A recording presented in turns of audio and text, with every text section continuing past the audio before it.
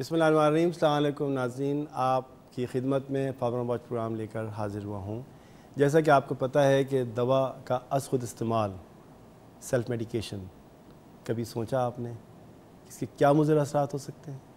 हमारे तरक्की पजीर ममालिक और तरक्की याफ्ता ममालिक में एक आम सी चीज़ है। क्यों है? ये कौन है जो उसको बताएगा कि दवा किस तरह ली जाती है? दवा बग़ैर प्रिस्क्रिप्शन के ना लो।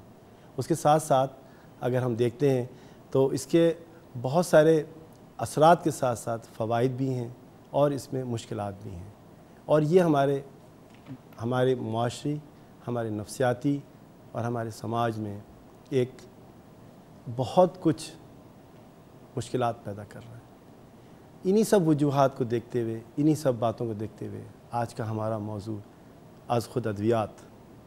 आज ख़ुद अद्वियात, वो अद्वियात जो हमारी पब्लिक, हमारे लोग, वो दवा लेते हैं और प्रिस्क्रिप्शन के बगैर लेते हैं। उसके क्या असरात होते हैं, इन सब चीज़ों को हमने देखते हुए आज अपने मेहमानों को मदु किया है। और मैं सबसे पहले बिलाल मखसूस साहब का शुक्रगुजार हूँ कि आप तशरीफ़ लाए और आप director of pharmacy national hospital में। और आप vice president pharmacy council Sindh भी हैं आपका बहुत बहुत शुक्रिया कि आप तशरीफ़ लाए और इस प्रोग्राम में आपने बन गया उसके बाद डॉक्टर मोहम्मद हारिस ये असिस्टेंट प्रोफेसर हैं कराची यूनिवर्सिटी में और इनका तदरीस से एक बहुत दावन चोरी का साथ है। और आपकी बहुत से साइंटिफिक जरीदे हैं। आप पीएचडी करा रहे हैं और तकरीबन 10 से 12 शागिर्द पीएचडी कर रहे हैं। मैं आपका शुक्रगुजार हूँ कि आप अपना कीमती वक्त में से वक्त निकाल के तशरीफ़ लाए और आप, हम आपसे मशवरे, अब आपकी मशवरों से मुस्तविद होना चाहते हैं। तो मैं सबसे पहले मैं आपसे सवाल करता हूँ कि आप ये बताइए कि ये असखुद अद्वियात जो लफ्ज़ है, आप क्या समझते हैं? क्या ये pharmacist, doctor, nurse, paramedical staff, किसकी ज़िम्मेदारी है? और क्यों? है शुक्रिया, डॉक्टर साहब। पहले तो मुझे बुलाने का और इस प्रोग्राम के तवसत से बहुत सी ऐसी हम मालूम शेयर करेंगे जो इस आवाम को इस चीज़ के लिए बेहतरी का सामना होगा। असखुद अद्वियात या सेल्फ मेडिकेशन। ये पाकिस्तान में भी है, दुनिया भर के तरक अमेरिका में भी है यूके में भी है, दुनिया भर में होता है।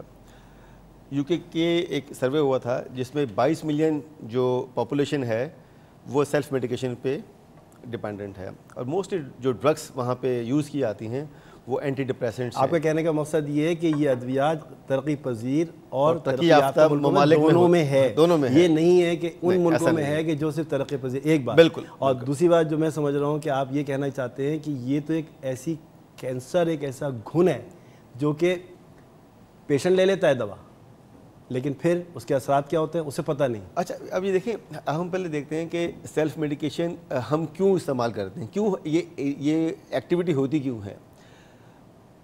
पहली बात तो ये है कि देखें अगर हम पाकिस्तान की बात करते हैं तो पाकिस्तान के अंदर दवाई का जो एक्सपर्ट है वो, और जो इसने पढ़ा होता है, वो फार्मासिस्ट है।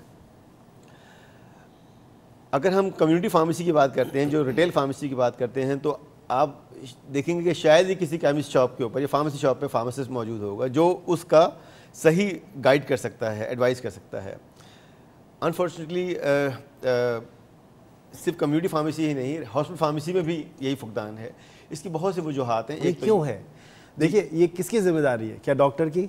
डॉक्टर प्रिस्क्रिप्शन लिख देता है वो प्रिस्क्रिप्शन उसको दोबारा नहीं लिखते और वो पेशेंट जाता है और दवा ले लेता है और वो खा रहा है उसको।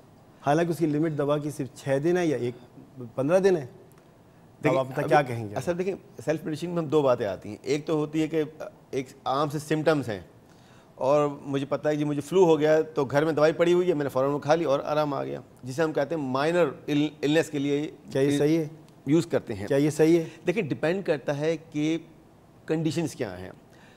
इसे हम कहते हैं misdiagnose you know drugs late से अगर हम छोटी सी मिसाल लेते हैं पैनाडॉल या पैरास्टामोल जो आम हर हर घर में होगी और हर कैम शॉप में आपको दस्तियाब है। क्या हमें मालूम है कि मैक्सिमम डोज हम कितनी ले सकते हैं पैनाडोल की? फोर ग्राम है। क्या हमें मालूम है कि इसको हम कॉफ़ी के साथ नहीं ले सकते?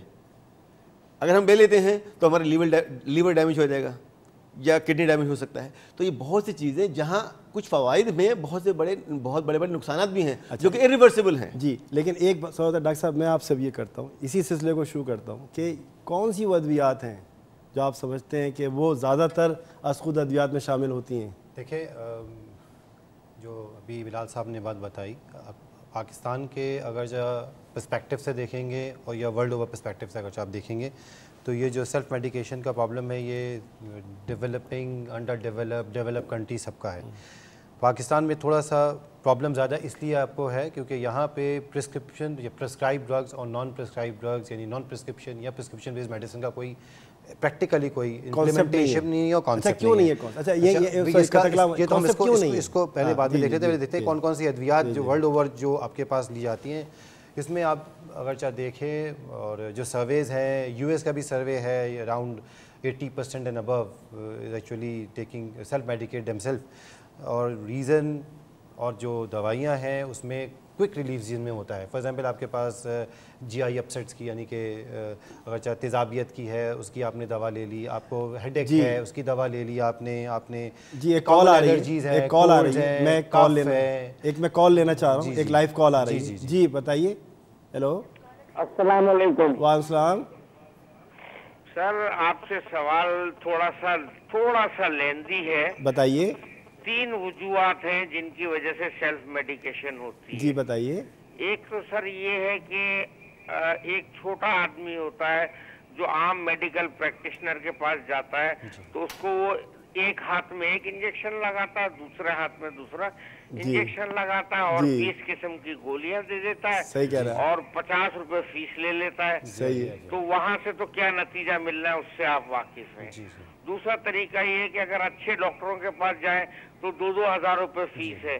जो एक आम आदमी मतलब वो नहीं बर्दाश्त कर, कर सकता। जी जी। तीसरी वजह ये कि अगर बड़े डॉक्टर के पास चला भी जाए तो वहाँ भी मैंने आजकल जो देखा यही है कि जो मेडिकल रैप आते हैं वो उनको तरह तरह के लालच दे के और तरह तरह के मतलब के टिकट दे रहे हैं फ्रिज दे रहे हैं फलाना दे रहे हैं पेन दे रहे हैं और को बुक्स दे रहे हैं हर चीज़ दे रहे हैं।